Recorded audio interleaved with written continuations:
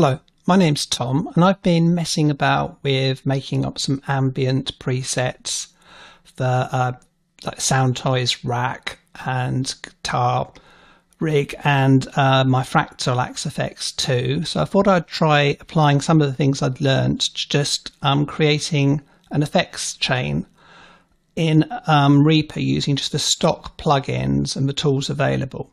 So I've got a bit of just plain guitar here. So I'll, I'll just play a bit of that just to see it's a starting point.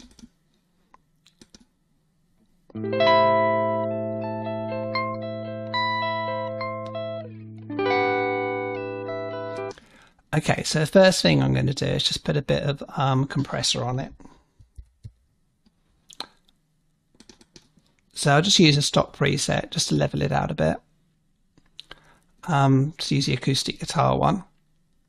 And then the next thing I'm going to do is, well, a quite common thing in a lot of ambient presets is for it to pan wider as the volume increases.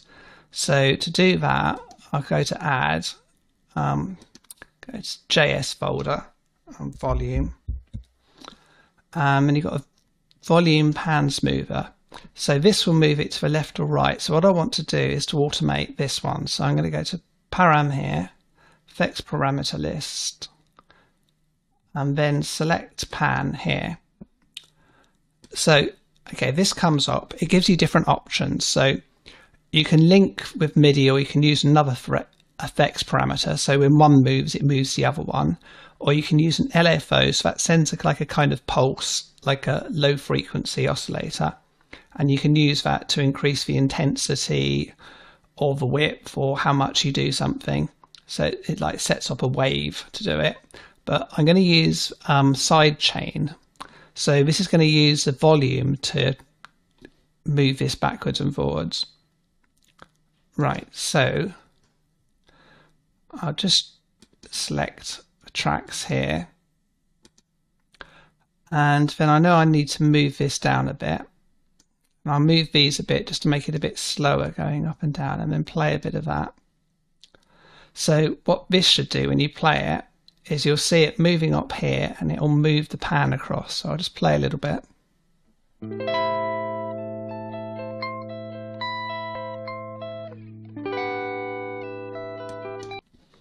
Okay, so I'll move that down a little bit.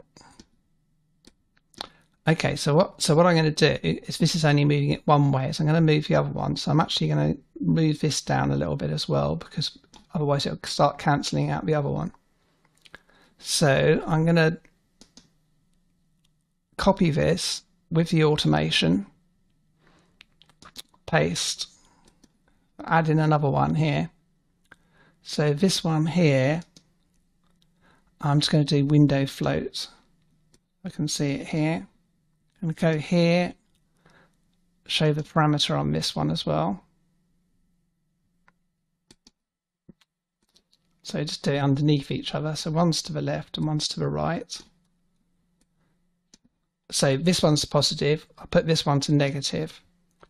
Um, okay, so we'll try this. I might need to adjust it a bit more. So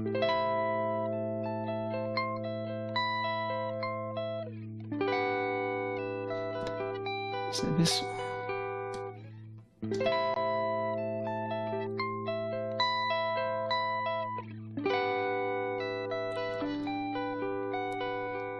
Okay, so that seems about right. So I'll leave those open just so you can see what's happening there. So the next thing I want to do is I want to add some uh, reverb. So I'm going to go for ReaVerbate, this one here. And I'm just going to use a preset. So I'm going to go for wide, wide. So we'll, we'll try this. Actually, one thing I will do on the other ones is I'm just going to put the volume up a bit on these. Let's go back to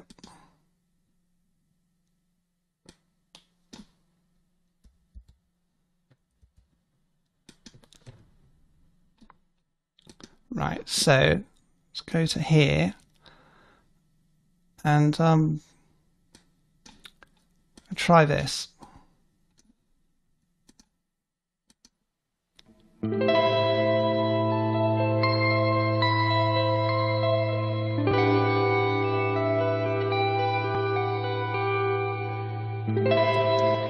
Okay, so one thing you will notice with a lot of the free reverbs or reverbs people sort of enthusiasts make of not really expensive ones is that it, they can have a bit of a sort of metallic edge to them. So um, you can counter that to a certain extent just by doing a high pass here, moving it up. So I'll just try that, see if that helps.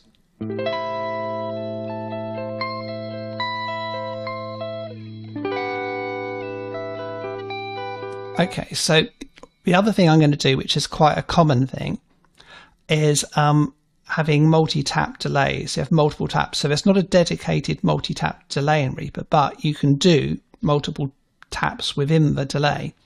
So I'll just do that.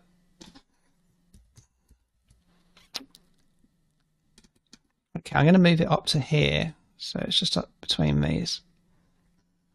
So you can see you can do multiple taps here. So what you want to do is have them proportional. So if you have four on one, and then you've got, you can move them to sides here. So you could have four on the left, then you could do another one and do eight to the right, and then maybe do 16 in the middle on a third one. But um, you've already got a preset in here, which is the basic five tap ping pong. So if we look at these, you've got one on the left, two um, on the right, third one in between left, fourth one in between right, and then the fifth is on the center. So, okay, we'll try this now.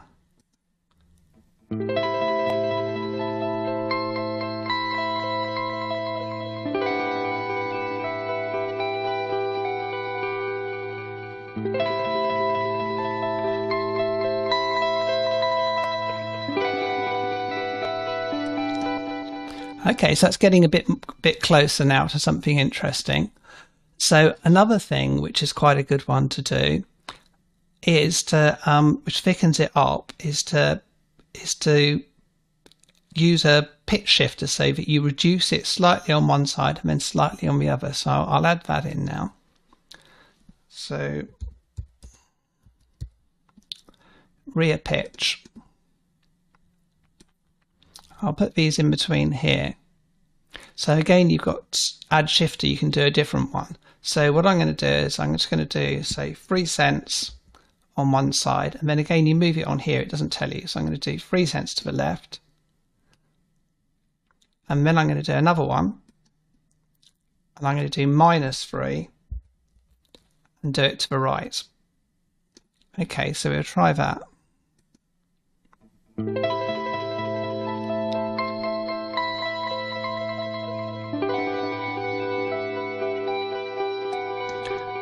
Okay, so one thing you might find again when you do the pitch like that is it again it can add a slightly sort of metallic element. So what I'm going to just do is add ReaEQ in.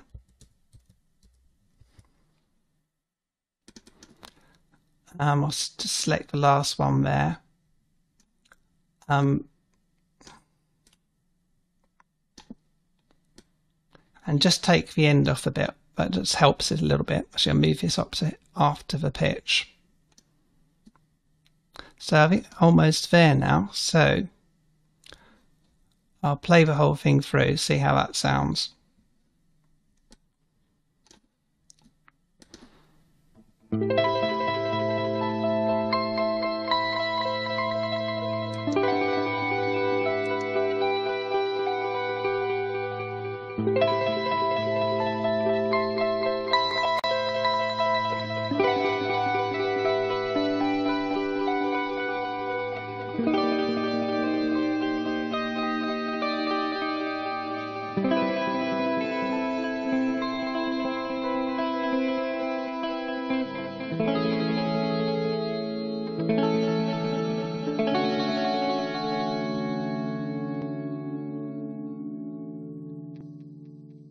Okay, so now what you can do is you want to save it as an effects chain.